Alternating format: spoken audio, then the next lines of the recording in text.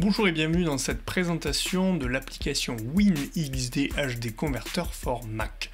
Alors avant toute chose, je dois dire que cette euh, vidéo est faite en partenariat avec l'éditeur qui m'a demandé de la faire, qui m'a offert un compte licence et qui m'a rémunéré à hauteur de 20 dollars, ce qui représente sûrement 15-16 euros.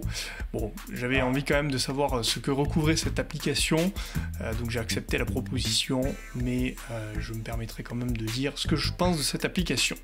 Voilà, donc bien j'ai importé un petit rush ici vidéo, et d'emblée ce qu'on me propose bah, c'est de le convertir avec un tas de formats et euh, notamment le HEVC H265 qui est euh, le format en fait tout nouveau euh, des, des, iPod, iPad et Mac. Donc ça c'est assez pratique. On voit aussi qu'on a la possibilité d'en extraire que l'audio et de convertir en multiples formats aussi, ou alors carrément de choisir des presets par rapport aux machines vers lesquelles on souhaite lire ces vidéos. Donc bon, mais on a un nombre de formats assez variés, et pour être totalement honnête, la plupart des applications, même gratuites de conversion, proposent ce genre d'options. Néanmoins, c'est vrai que là, la présence du H265 est quand même euh, notable. Euh, dans les infos, on a euh, notamment bah, tout ce qui est codec en fait d'origine de la vidéo, quel est son format, quel est bah, le nombre de canaux, etc. Et puis ensuite, on va avoir quelque chose là un petit peu d'intéressant qui va nous permettre de faire tout un tas de choses sur la vidéo. Et donc, notamment, les sous-titres, bon là s'il y en a, euh, on pourra aussi en importer, et ensuite ce qu'ils appellent le, coupage. Euh, là j'ai l'impression qu'en fait on va pouvoir choisir la durée en fait euh, des rushs si on veut ne sélectionner qu'une partie de l'image. donc on peut le faire avec les chiffres ou alors on peut le faire directement avec les petites poignées, là c'est quand même nettement plus pratique. Et on peut donc aussi couper la vidéo. Alors là en fait l'idée c'est vraiment de recadrer une partie, c'est-à-dire qu'on va ne sélectionner qu'une partie, donc à gauche c'est le plan d'origine et à droite c'est le plan final que l'on aura. Donc euh, bon, toujours pratique. Et puis watermark c'est le fait de pouvoir euh, insérer un logo notamment ou alors un petit texte d'accroche et donc là, bah, en l'occurrence, on le voit pas tout simplement parce que euh, j'ai pas choisi la bonne couleur. Euh, ou alors, je... non, c'est parce que j'étais en coupage, donc on le voyait pas, ça faisait pas partie de mon image. Donc là, en l'occurrence, on le voit apparaître. Et puis, bah, je vais pouvoir bien sûr choisir une autre police, une autre couleur, parce que là, c'est quand même particulièrement moche. Euh, mais donc, les poignées vont me permettre de le, déjà de le, positionner où je veux, puis aussi de le recadrer. Et quand je touche les polices ici, bah, je vais pouvoir trouver toutes les polices de mon Mac, les couleurs, etc. Et donc avoir quelque chose d'un petit peu plus stylé que là, il faut reconnaître que c'est vraiment euh, très très moche. On va pouvoir choisir aussi la transparence, donc l'opacité de ce titre et on pourra faire la même chose avec l'image. Alors là ce qui est un petit peu dommage je trouve quand on importe euh, l'image c'est qu'elle se met dans la taille en fait euh, bah, une taille la taille qu'on avait précédemment pour le logo donc il faut bien faire gaffe à la hauteur et la largeur de son image que l'on peut remanier manuellement comme je suis en train de faire ou ici dans le menu là où on va pouvoir mettre les chiffres directement de la taille. On peut également donc retourner la vidéo si on a filmé à l'envers ou inverser voilà de façon Bon, à partir de ça, euh, tout ce qu'on a fait va être euh, gardé en mémoire. On pourra aussi bien sûr renommer puis ajouter des commentaires comme un fichier MP3. Et euh, au niveau des paramètres, ben, on va pouvoir retravailler tout ce qu'on a choisi auparavant si on s'était planté au niveau des codecs par exemple notamment. donc ça, c'est pour la partie conversion. C'est assez complet, c'est en français, c'est assez bien fait, il faut quand même le reconnaître, même si on a des outils qui permettent de faire ça, notamment avec iMovie. Bon, on va aussi pouvoir choisir la cible. Moi, j'aime bien utiliser le moteur de haute qualité, je me dis que c'est quand même toujours mieux. Euh, autre outil, lorsque je lis une image, je vais pouvoir, ben, une vidéo déjà, la lire dans, ce visualiseur, mais aussi par exemple prendre une photo de cet instant. C'est pratique, plutôt que mettre pause et faire une capture d'écran avec les, les, boutons de lecture par exemple.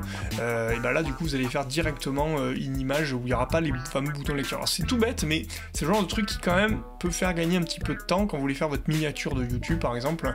Euh, vous n'êtes pas obligé de repasser par votre logiciel, euh, notamment. Bon, ah, je voulais importer une image, ça n'a pas donné grand chose. Par contre, une autre fonction intéressante, c'est euh, la fonction YouTube où on va pouvoir donc du coup télécharger des vidéos directement sur YouTube. vous voyez qu'il y a une petite, petite mise à jour qui se fait. Bon, j'ai pas trop compris à quoi elle servait, en tout cas elle est présente. Et puis donc ici, ben, on va juste coller le lien de la vidéo. Donc ici je vais coller mon lien vidéo YouTube. Alors bien sûr j'ai pris une vidéo de ma chaîne principale, hein, faut, pas, faut pas déconner. Et donc une fois qu'il aura analysé, ce qui est un petit peu long mais je pense c'est lié à ma connexion, on voit tous les codecs possibles euh, qui sont proposés par YouTube. Moi j'ai envoyé en H264 qui est la meilleure résolution proposée, mais on va aussi pouvoir euh, le télécharger dans des résolutions plus basses directement, donc pas de conversion à faire, ça c'est pratique. Euh, donc là je vais en prendre une basse pour l'exemple, et c'est tout. Voilà, on va pas pouvoir par contre, comme d'autres services en ligne gratuits le font, choisir une conversion, pardon, choisir un, moment de la vidéo. Là on est vraiment obligé de, de ne prendre que la partie entière, enfin que la vidéo entière. Alors il y a des éléments de volume, j'ai pas bien compris à quoi ça servait. Est-ce que ça sert à rehausser le volume de la vidéo? Je ne sais pas du tout. Euh, là, si je mets play, bah, ça ne marche pas. Alors, j'ai une connexion pourrie, donc est-ce que euh, c'est lié à cela? Je ne sais pas. En tout cas, bon, euh, là, ça reste en suspens. Et puis après, bah, download now. Là, ça va être un petit peu long. Je ne sais pas pourquoi il convertit en fait, ou il télécharge en plusieurs formats. Vous allez voir que dans un premier temps, ça n'a pas marché. ça a mis un certain temps. Puis ensuite, ça a fini par fonctionner. Donc, il va falloir être un petit peu patient.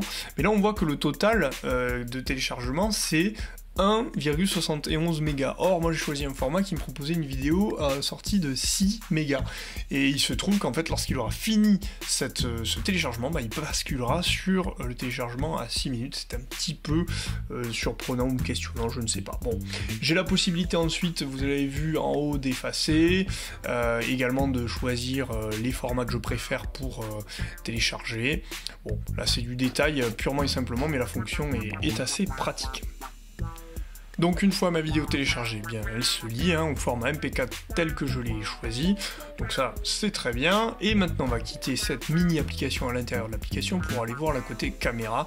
Donc là ben, on va pouvoir euh, se filmer avec euh, la facecam ou la facecam pardon ou une autre caméra externe. Alors je vais pas essayer non plus. Bon ça euh, on peut le faire aussi avec d'autres apps sur le Mac, mais bon bah c'est je pas c'est un ajout de l'avoir ici. On peut choisir la qualité. Ça c'est vrai qu'on peut pas le choisir forcément sur l'application native du Mac, euh, ou disons aussi, mais pas aussi clair. Bon, enfin, en tout cas, dans c'est présent. Euh, je ne sais pas si j'utiliserai.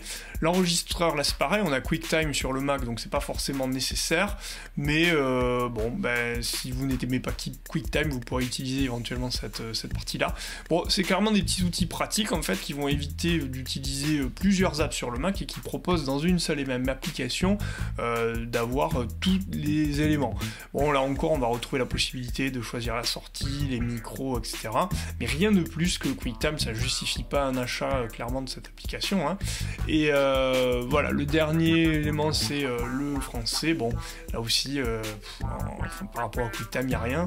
Donc voilà, clairement, cette application est intéressante pour ces outils, parce qu'elle propose plusieurs outils à l'intérieur d'une même application, mais en gratuit, on va pouvoir trouver quand même exactement la même chose.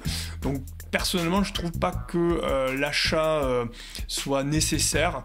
Néanmoins, si vous avez besoin d'un outil, vous voulez pas vous prendre la tête, que vous n'êtes pas un geek par exemple, mais que vous voulez avoir tout euh, à l'intérieur d'une même application, bah là effectivement, ça peut, ça peut valoir le coup d'acquérir cette application, qui est pratique. Clairement, moi je vais l'utiliser et je vais la garder, mais qui, ne va pas non plus ne pas avoir d'alternative en gratuit. Voilà,